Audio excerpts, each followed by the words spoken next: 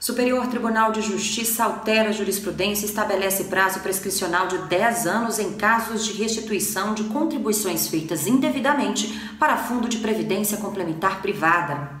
O entendimento foi aplicado pelos ministros da terceira turma no julgamento de processo em que empregados de uma concessionária de energia elétrica de São Paulo pediam ressarcimento dos valores cobrados pela Fundação de Previdência Complementar.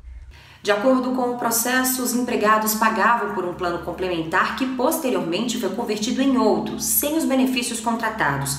Por isso, eles entraram na justiça pedindo o fim dos descontos e a devolução dos valores cobrados durante 20 anos.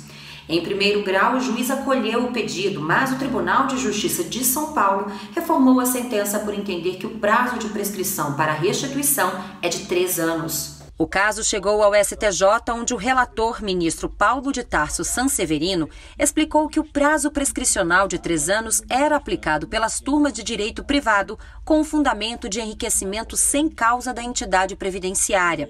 Porém, recentemente, a Corte Especial definiu que é de 10 anos o prazo de prescrição para o ajuizamento da ação de repetição de indébito por cobrança indevida de serviços de telefonia não contratados. Julgamento que, para o relator, tem semelhança com o caso em análise pela turma, por também ter sido feita cobrança indevida de contribuições. Sanseverino ainda destacou que a ação de enriquecimento sem causa cabe apenas quando a cobrança indevida não tiver causa jurídica, e neste caso tem. Seguindo o entendimento do relator, a terceira turma decidiu pela incidência da prescrição de 10 anos.